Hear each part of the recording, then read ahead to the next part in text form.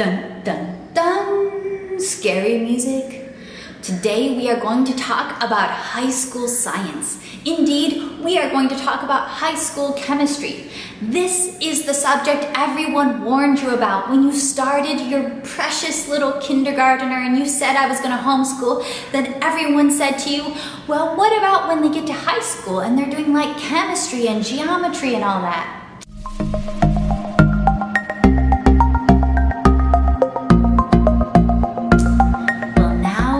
Here and we are going to talk about how our family is teaching the seventh high schooler in our family's homeschool chemistry. I'm going to be taking you through, giving you a look inside two resources that we base our chemistry course off of, showing you what they look like, how we use them, the pros and cons of the tools that we use, and let's get started. All right, let's dive right into the two main resources that we are using with high school chemistry right now with our 10th grader. Um, the core of our chemistry curriculum is this Exploring Creation with Chemistry, second edition. We initially purchased this from Sunlight together with the Solutions and Tests book as well as the supplies kit for all of the experiments in the book and a schedule.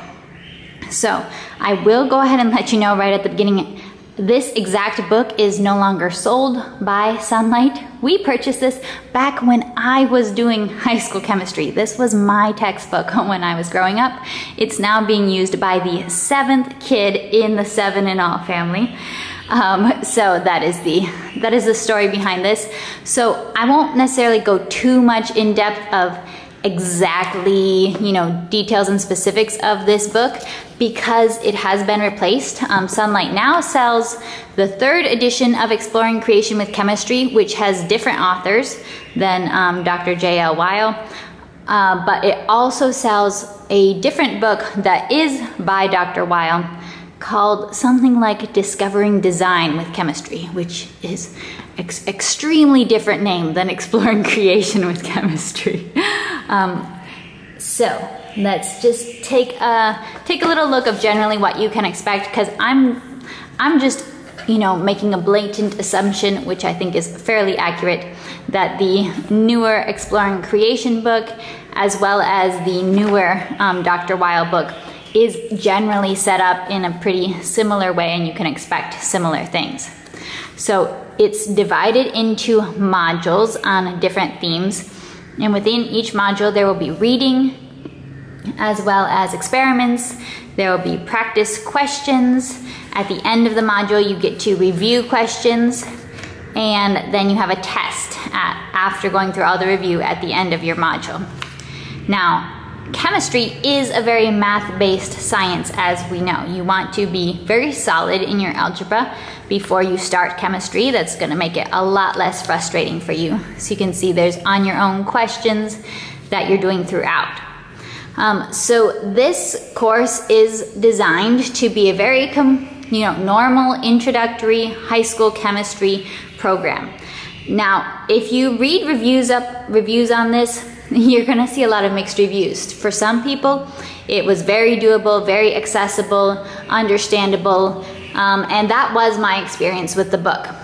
From my personal perspective of this book, it, it would be impossible to not understand um, the information or to struggle with doing the problems because to me, it's almost overly preparing you and overly kind of explaining to you exactly how each element of chemistry works at each element that they're covering, how to solve each problem. So they give you an example problem and then you have to do a problem on your own that's very similar to the example and the problems get gradually more complex as you go through.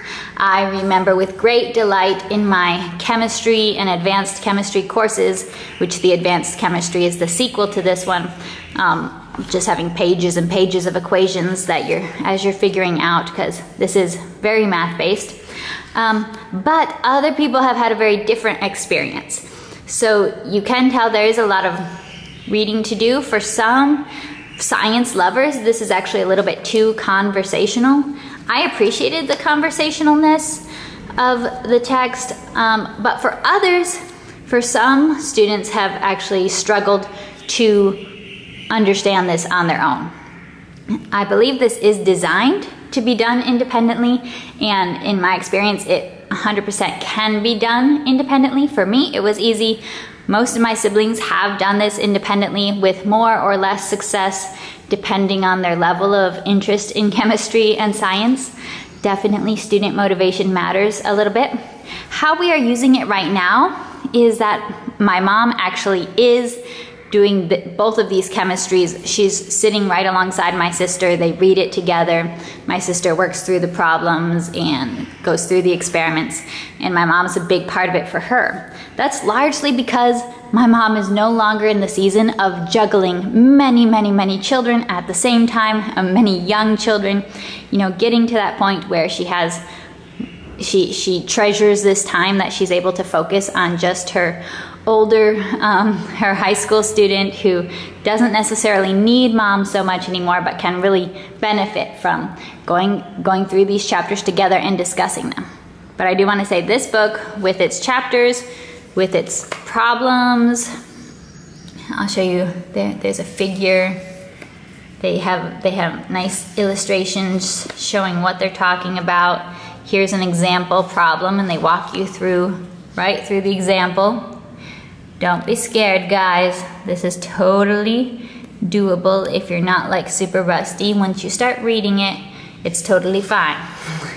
I know um, high school sciences are something that really intimidate a lot of um, new homeschoolers, but guys, you don't just jump into high school science. You've been working up the whole way. So by the time you get there, it's not so bad. You know, right now it feels bad because you've probably been out of high school, you know, a long time. um, but yeah, so this this was what we used solely for chemistry with the first five kids in my family. For kid number six and seven, we have added in this. This is not necessarily, you know, necessary. It's totally separate and different. This is Life of Fred Chemistry, and I wouldn't say this first book can be used as a just plain introductory chemistry course. This one I don't think could just be used independently by a student to introduce themselves to chemistry on their own. This does not have tests. This does not have experiments, although the nature of the stories in Life of Fred, um, as my mom joked, it actually teaches a lot about lab safety because there's always terrible things going wrong in the lab, and there's always people doing really dumb things in the lab, so you learn from the experiences of the people in Life of Fred. Um, but if you are unfamiliar with Life of Fred, I do have several videos on their early readers and their early um, math curriculum. I may at some point do a video on their high school curriculum or high school math curriculum. I wanted to show chemistry in this though because this has been a very cool and challenging uh, addition to our chemistry routine. I'm just gonna take a minute to show you the contents right here because it may surprise you. the contents, the contents in the exploring creation with chemistry were very normal, I would say. and this table of contents is already going to be a little alarm for you right here that this is not your average chemistry textbook. There's definitely some unexpected things in there. We, we have melting wood, you can see. So if you take the time to look at that, you can tell uh, yeah, here. Why you shouldn't tell students exactly what to do. You can tell the um, unique approach already in the table of contents. Uh, but Life of Fred is a story-based um, curriculum, so you have different chapters, you read through a chapter, and then at the end of the chapter you have a Your Turn to Play section. And just on the other side of the page, they have the complete solutions to the Your Turn to Play. So if you have a child who strugg who struggles with, you know, cheating themselves and just looking up answers rather than trying to figure them out and trying to take shortcuts, Life of Fred's design can be very hard for a student like that to use because the answers are right on the opposite side of the page. if you have a child who does not struggle with that and are, is actually curious to find out how to solve something and try it on their own, it's no problem. Um, but I'll just give you this is this footnote right here on the very first page is an example of what Life of Fred is like. Always read the footnotes. The last part of Shakespeare's Hamlet was very much like this scene in Life of Fred chemistry bodies all over the place and lots of blood. This is where I'm saying this, this is a little bit different than your average chemistry textbook. Uh, there are quite a few interesting moments all throughout here, but the main reason, reason we include this, yes, there's story, there's humor, there's, there's just a, a very unique element. But what my mom has found from after years and years and years of teaching chemistry, this book gives you everything that you need. This one right here. It gives the student everything that they need to solve the problem. It's basically here's the material, you learn the material, you practice the material, and then you're tested on the material. This book is a lot more challenging when it comes to problem solving skills and it includes more of the discovery method. So um, the author will give the student questions and problems to solve that actually they probably don't have every single piece of information and knowledge that they need to solve that problem. And he's just gonna, he, he just tries to go a little bit one step past where you could easily get based on what you've learned and tries to challenge you in that way. Um, as my sister, who is currently doing this book, says, uh, she says, doing this book makes you feel like, oh, I'm good at chemistry. Chemistry is easy. And then when you do this prob- book, she's like, oh, wow, I'm not as good at chemistry as I thought I was. It is more challenging. It's definitely something that's going to take you to, it's, it's going to be a lot more challenging with thinking from a mathematician's and scientist kind of point of view of okay, I don't know everything, but how can I use what I know or use what I know from another chapter or from another principle and combine it and apply it to actually solve this problem? So that is the unique thing about this. Um, my mom's perspective on this was she would recommend you could, if you need a chemistry curriculum that your child can do on their own, this works well, or you know, the updated versions that are available through Sunlight or through the um, Apologia or Dr. Wile um, websites have the updated versions of this that are similar and very, very similar to that. This, she would say, would be very frustrating probably for a student to be doing totally on their own without any parental involvement. But because she does this together with my sister, they really enjoy this and feel like it's um, able to challenge her more with her chemistry understanding, bring her to a deeper problem solving understanding. Um, this was also one more footnote I wanted to read you because it represents Life of Fred very well. Can you imagine writing a chemistry book that didn't have poetry, a story, and humor in it? That's impossible to imagine. This last sentence is ironic. Irony means writing the opposite of what we know to be true. It's much more fun to share in the joke of writing. It's impossible to imagine a chemistry book without poetry, a story, and humor in it than to write the boring truth. Virtually every chemistry book is dull.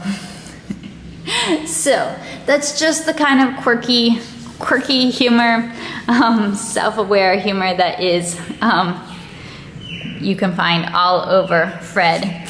It is unique, it is its own beast, but it has been a fun um, accent to our exploring creation with chemistry. To make sure that you can do the labs, I like they have a list right in the beginning. If I can find the page, they have a list right in the beginning with all the equipment that you'll need for all the experiments and labs.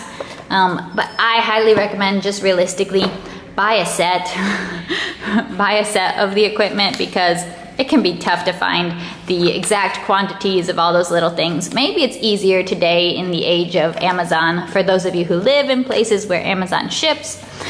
Um, but in general, yeah. I know, I know when you're looking at this, it, it, it looks kind of scary, but it's, it's chatty, It's chatty, there's a lot of words, there's a lot of explanations. We found it to be quite effective. My current, the current 10th grader is actually thinking of maybe some kind of career in teaching in chemistry or a math type of field. So that says something, says something about her.